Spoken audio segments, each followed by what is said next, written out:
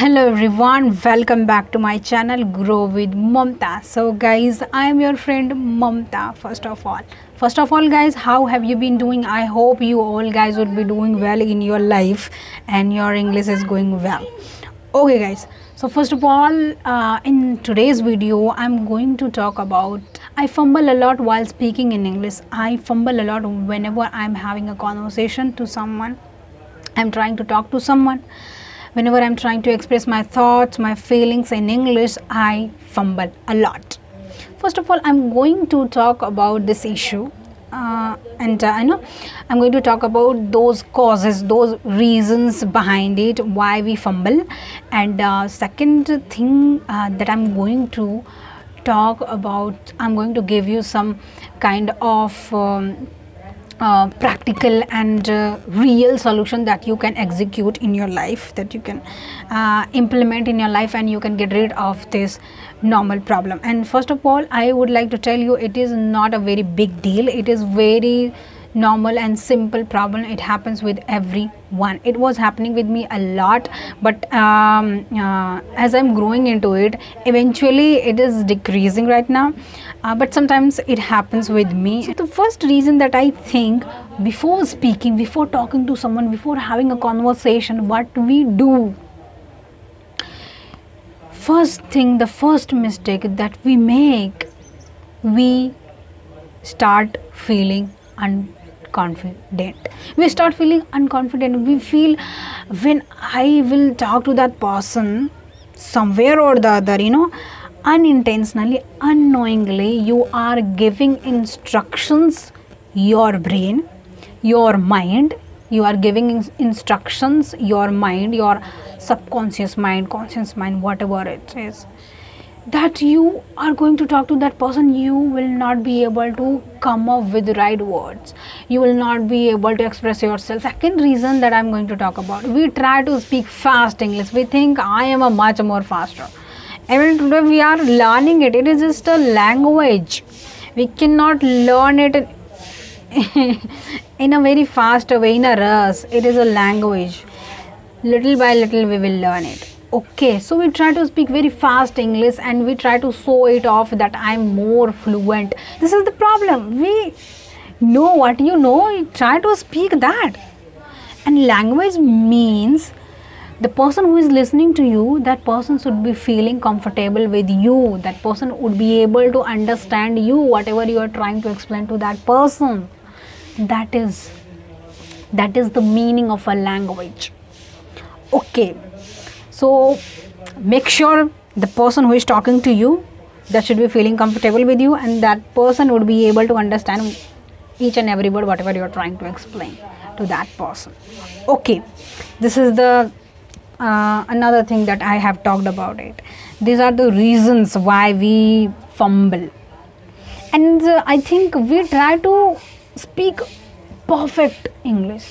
We think i do not want to make mistakes and mistakes are the only way to learn. The mistakes are only way to speak right english. Because when you make mistakes so then you realize oh my god this is the mistake. And next time you you think i don't have to speak that. Then your brain your mind is going to recognize that that this is i don't have to repeat. Okay if uh, for the first time you are making a mistake that's not a mistake. Okay and the second time if you are making that if you are repeating that mistake again over again that is mistake. I think that is blunder. Okay make sure you're not repeating a mistake again and again. First time it's normal. Okay these are the reasons i think as far as i i'm concerned. The first solution start feeling confident.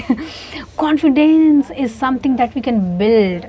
It's like muscle as we exercise as many of you would be going to gym to build your muscles. So some confidence is like this you can build it. How you can build it?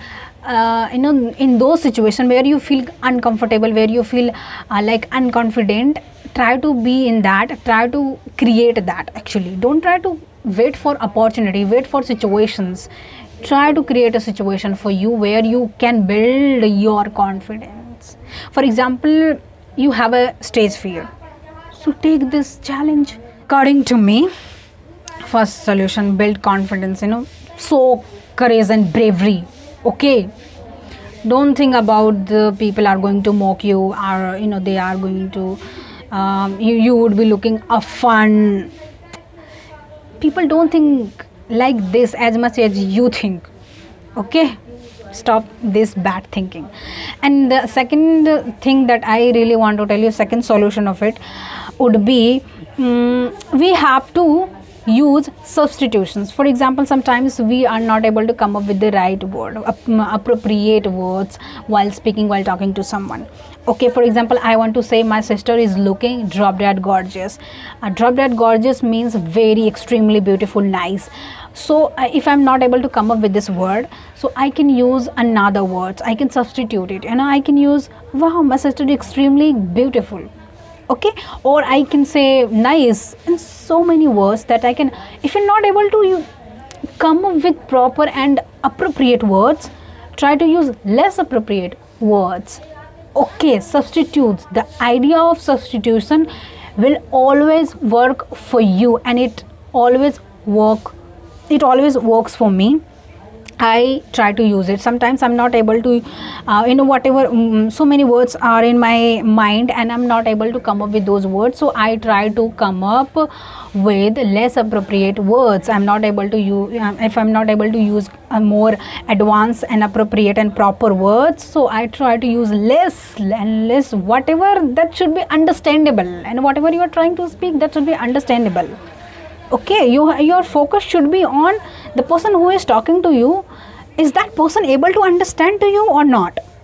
This is the meaning of a language. Okay use some filler words. Filler words means while talking to someone whenever we are mm, having a conversation someone is asking some questions and we think. Before talking we think. But it is not our mother tongue. Mother tongue is something that we are blessed with.